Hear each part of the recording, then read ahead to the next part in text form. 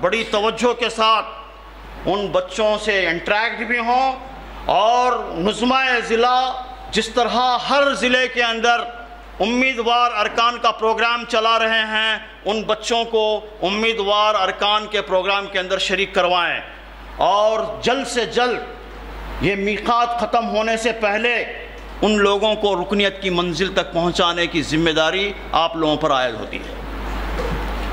پھر ہم نے ایک پروگرام بنایا ہے۔ یہ نظمہ ضلع کو نوٹ کروا دیا گیا۔ عمرہ مقامی بھی نوٹ کر لیں، انشاءاللہ سرکولر کے ذریعے بھی بھیج دیا جائے گا بعد میں۔ ہم چاہتے ہیں کہ ظاہر ہے کہ اس پوری میقات کے اندر کوئی بڑا عوامی اور عام اجتماع عام نہیں ہو سکا۔ ہم طے نہیں کیے تھے، اس لیے نہیں ہوا۔ اگر طے کرتے تو ضرور ہوتا، ہم نے طے نہیں کیا تھا۔ لیکن ہم نے محسوس کیا کہ ریاستی سطح کے اجتماع عام کے فوائد الگ ہیں اپنے طور۔ اپنی جگہ ہیں وہ۔ لیکن جو لوگ زیادہ اٹریکٹ ہوتے ہیں، وہ ضلعی اجتماع میں ہوتے ہیں۔ ابھی ہم نے بھدرادری کتا گڑم کا پروگرام کیا۔ دو حال ہیں اس میں۔ ایک حال میں اس وقت بھی پروگرام ہوا تھا۔ تو چھوٹے حال میں ہوا تھا متحدہ ضلع میں۔ لیکن ضلع بدل گیا۔ دو ہو گئے ضلع اور اب ہوا۔ تو اتنے لوگ آئے اور جب اجتماع ختم ہوا برقی برقی برقی برقی ہزاروں لوگ۔ تو یہ اس کے فوائد ہیں۔ لوگوں تک پہنچنے کا بہت ہی اہم ذریعہ ہے، تو ہم نے ضلعی اجتماعات کو ڈیزائن کیا ہے۔ آپ حضرات پوری توجہ کے ساتھ اس کی پلاننگ اس کی پلاننگ کیسا کرنا ہے، ہر جگہ انشاءاللہ میں پہنچوں گا۔ ہر جگہ پہنچوں گا پلاننگ کے وقت میں۔ ہاں۔ اور ہماری نگرانی کے اندر پلاننگ ہوگی۔ تیس سپٹمبر کو آصف آباد کمرم بھیم آصف آباد کا ضلع اجتماع ہوگا۔ محبوب نگر کا سات اکتوبر کو ہوگا، جس میں ون پرتی گدوال، ناگر، کرنول بھی شامل رہیں گے۔ پدا پلی ضلع نیا بنا ہے، چودہ اکتوبر کو ہوگا۔ پدا پلی کے ناظم ضلع نہیں آئے ہیں، امیر مقامی موجود ہیں، وہ نوٹ کر لیں۔ گوداری کھنی کے بھی امیر مقامی ہیں، وہ بھی نوٹ کر لیں۔ نرمل اکیس اکتوبر، محبوب آباد، اٹھائیس اکتوبر، Warangal rural and urban, Bhupalpally and Jangaon. یہ چار نومبر، کریم نگر، رورل، اربر اور سلسلہ۔ یہ گیارہ نومبر۔ عادل آباد عادل آباد یعنی نرمل کو چھوڑ کر جو آپ کا عادل آباد ہے، وہ عادل آباد۔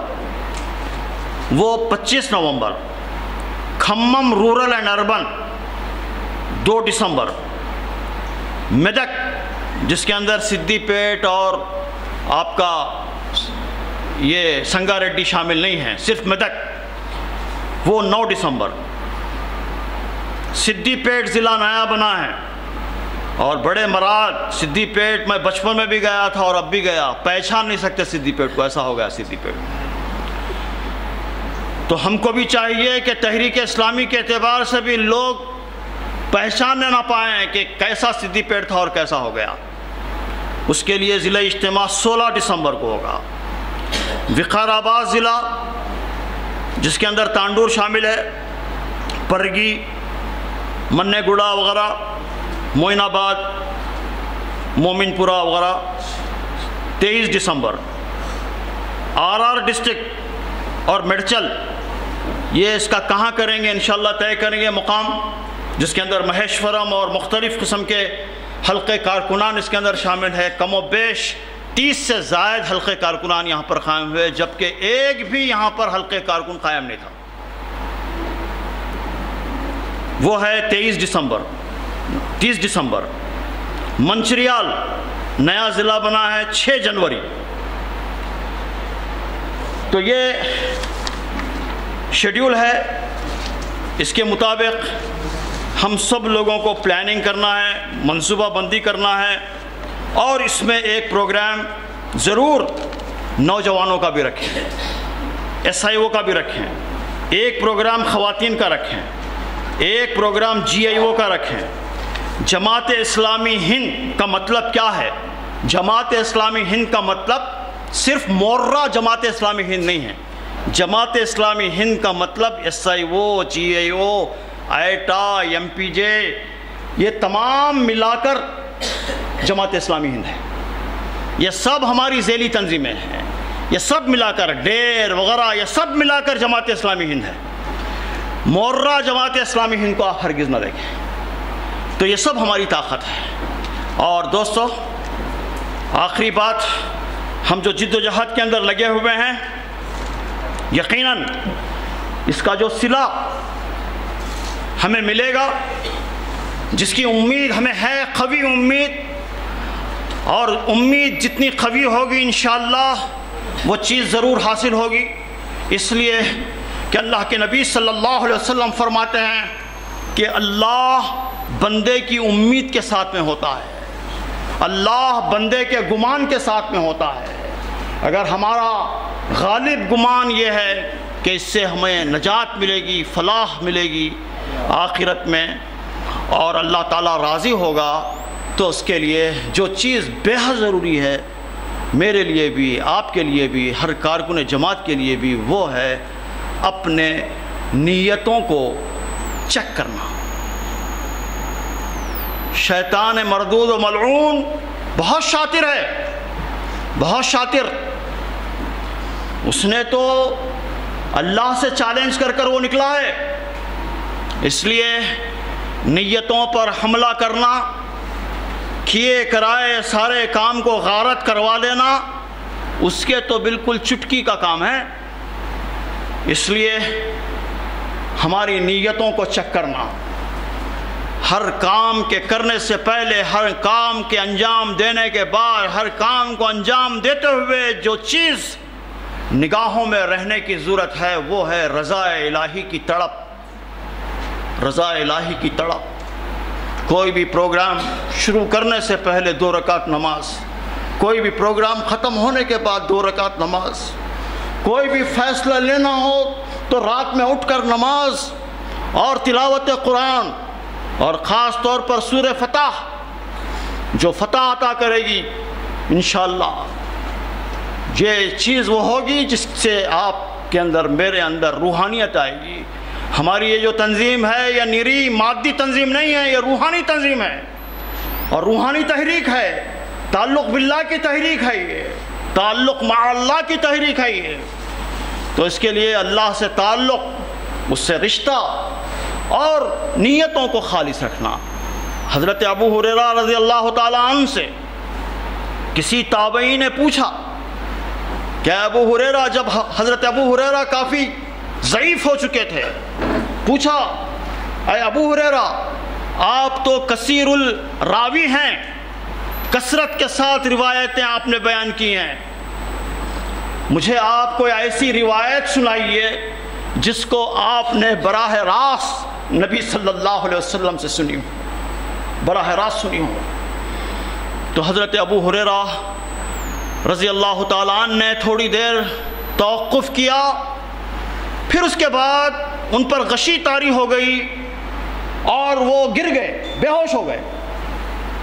پھر جب ہوش میں آیا، آ گئے تو پھر پوچھا، تو پھر بے ہوش ہو گئے۔ پھر پوچھا تو پھر بے ہوش ہو گئے۔ اور پھر اپنے آپ کو سمیٹا اور اپنی قوتوں کو ایک جگہ جمع کیا۔ اور اس کے بعد میں یہ حدیث بیان فرمائی۔ کہ جب کل میدان حشر میں ایک بندہ پہنچے گا اور اللہ پوچھے گا، بتا، تو نے کیا کیا؟ اس کی تفصیلات پہ جانے کی ضرورت نہیں ہے، آپ سب کو معلوم ہے کہ اللہ، میں نے، تو نے مجھے قرآن کا علم لیا اور میں نے قرآن کے علم کو خوب پھیلایا۔ تو اللہ کہے گا کہ تو جھوٹ کہتا ہے۔ اے اللہ تو نے مجھے دولت دی اور تیری راہ کے اندر میں نے خوب لوٹایا لٹایا۔ کہ جھوٹ کہتا ہے۔